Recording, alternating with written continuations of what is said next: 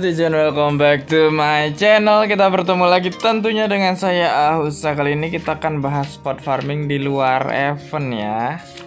Um, Yang kita bahas itu Ini pojokan ini di antara semua peta. Ini pojokan kiri bawah.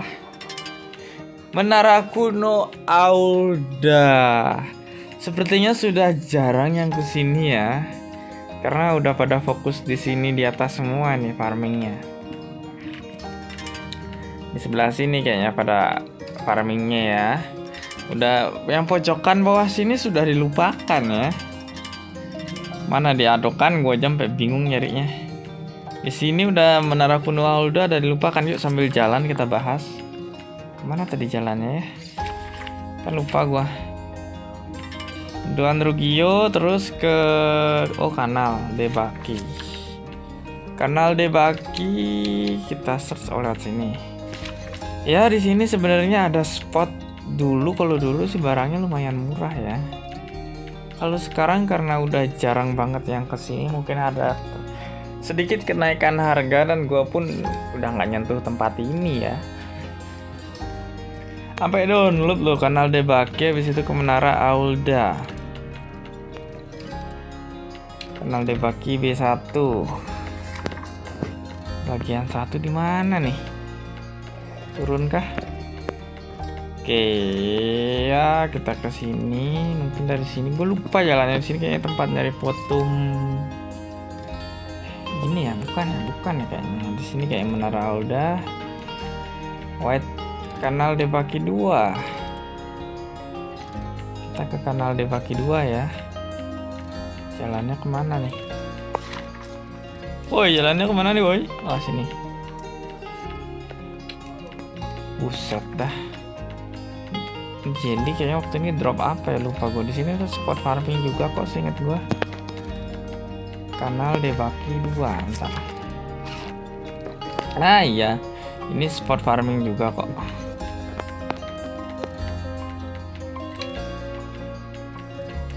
Oh ini di sini ada tikungan.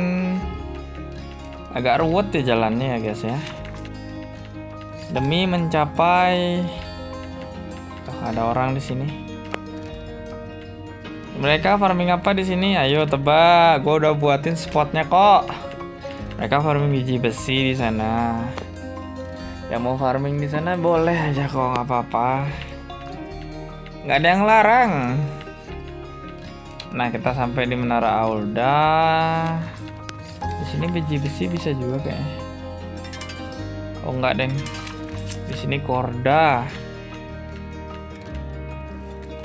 Mending farming di Korda bawah Sophia aja sama aja. Yang berlumut-berlumut itu. Ini untuk yang udah level 150 ini ke sini aja farming. Daripada kalian bingung, lumayan. Tuh, ada kok beberapa orang di sini. Kita ngapain mereka gua nggak tahu ya, tapi mungkin mereka penasaran, jarang banget orang ke sini kita naik terus ke atas ya. Karena ini menara. Nanti di atas kita akan ketemu buung puyuh. Ke mana lagi? Wow ada box di sana. Pokoknya kita naik terus di sini ada ghost naik naik ke puncak gunung. Waduh. Ada yang farming kayaknya tuh. Kalau dulu di sini tempat farming kain ya?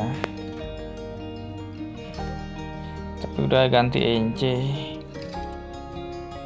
nah kita udah sampai di tempat paling puncaknya. Wow di sini ya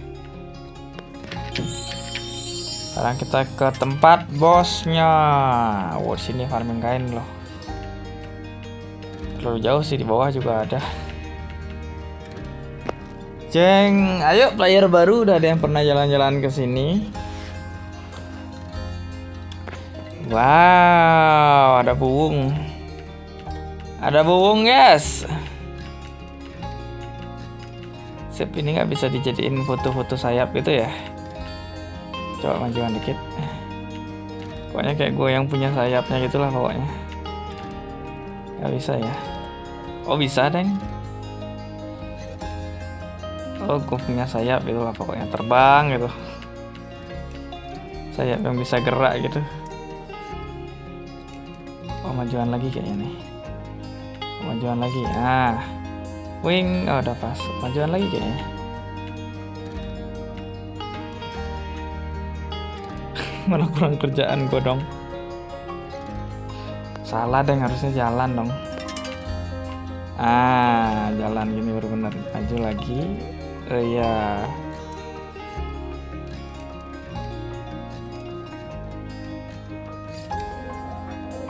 Sip. Ah gini ya. Pakai thumbnail bagus ini pakai thumbnail dong. Oke langsung aja kita ke eh lari kayak eh kok tidur? Lari dong. Ah. Thumbnailnya udah dapet. Di sini kita mainnya di apa aja boleh terserah kalian. Drop semua kok. Kita lihat dropannya. Nah Extile nggak begitu ya. Cuman ini zirahnya. Jadi kalian main fast kill aja di sini udah Wah, cepat lah pokoknya ininya. Dropnya. Jadi yang sini kita cari cuma beberapa item aja di sini yang pasti ini zirahnya. So tentu aja bos ini juga gampang banget. Oh ini ada yang deh, ada orang deh satu orang, liguin orang Indonesia lagi. Mungkin dia farming di sini mau nyari baju. Apakah gua sudah book home belum kayaknya? Kalau mana gua sedikit artinya gua belum bukuh ya. Oh banyak neng. Gampang banget ini one hit kayaknya kayak Minotaur. Cek. Ya lah pakai geser segala dong. Kita tes ya. Ini yang udah level 150 bisa jalan-jalan ke sini aja anggota serikatnya. Daripada apa namanya? Tempat ini terabaikan ada yang jalan-jalan sini lah farming mantap banget. Oh udah nggak one hit ya. Jangan lupa di break karena ada beberapa bagian yang harus di break. Breaknya juga gampang banget kok. Untuk dapetin MD harus di break ya. Harga APP MD nya juga bersahabat kok. Ada berapa break kan ya? Spot breaknya ada berapa ya yang tempat posisi pecahnya itu. Oh gampang sekali dropnya guys. Ini kalian perhatiin lagi di sini lihat infonya.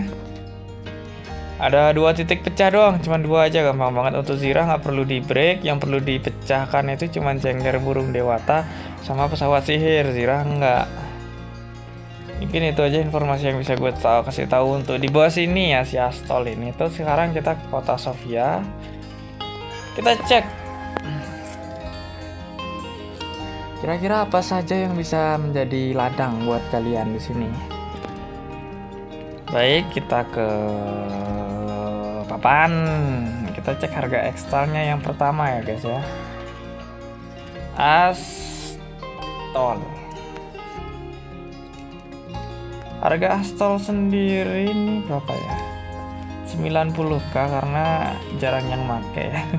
Aduh, di global lebih parah lagi dong ya loh di global lebih parah lagi. Terus next kita cek lagi tadi banyak banget kan itu dropan dropannya baju air ya.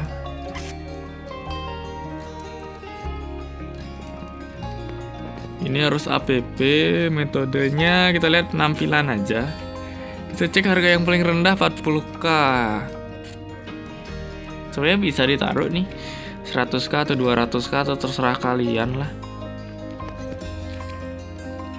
soalnya dulu banyak yang nyari bajunya ini 40k ditaruh harga rendah ya ternyata ya.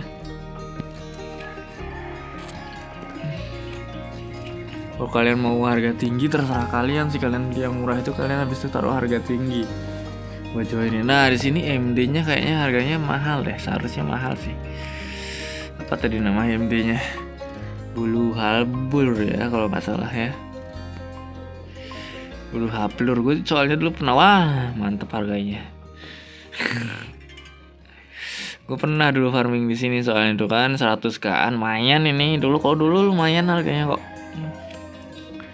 Terus ada manik ya bahannya itu ada manik. Manik manik manik pecahan manik burung dewata. Murah. Kayaknya rame yang ke sana deh. Kemudian ada cakar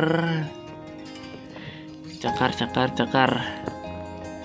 Cakar buung dewata berapa nih harganya nih? Cakar burung dewata harganya um, prok aja lah. Prok aja. Ekor burung eh burung dewata itu aja ya dewata itu aja semua kelihatan kok dewata aset. Manik jengger jengger berapa nih harganya? Oh jengger murah juga guys. Manik berapa? Murah juga ternyata. Ekor burung dewata mur murah deh murah ya? Murah semua loh. Cakar ekor burung udah murah semua yang bisa gini cuman MD nya doang tapi kalau dijual itunya bajunya bisa juga. Dulu mahal kok seinget gua harganya. 400 kaan satu dulu. Sekarang mungkin kurang trendy ya. Udah jarang yang pakai lebih milih pakai avatar semua kayak gua. Terus hmm, zirah. Di sini untuk ada beberapa bahan yang emang nanti bisa dipakai untuk apa namanya? Buat. Buat buat buat buat buat buat. Buat itemnya ini ya ini baju air ini. Kalian butuh jengger sama apa namanya? Manik di burung dewata ini. Statnya ya nggak begitu bagus cuman app nya kan kalian udah lihat tadi. Lumayan. Jadi mungkin itu aja yang bisa gua kasih tahu ke kalian dan kalian bisa jual cosplay cosplay bisa pakai itu baju mungkin. Atau kalian jual teriak aja jual baju air gitu 40k atau 200k terserah kalian atau harga berapa. Untuk harga agak kecewa sedikit sih gua. Turun loh anjlok loh padahal sedikit yang ke sana. Oh ya gua di inter soalnya. Ya udah sih itu aja mungkin dari gua. Terima kasih atas perhatiannya dan kita cek-cek lagi ya spot-spot terdahulu yang dulu pernah rame sekarang sepi dan mungkin karena harganya juga turun ya dan dan apa namanya uh, eh, GM juga buat spot-spot baru seperti event baru dan sebagainya jadi kadang-kadang ada beberapa tempat yang terlupakan Oke, dan sampai bertemu di video selanjutnya. Bila ada satu salah kata, mohon dimaafkan. Bye bye, dan see ya.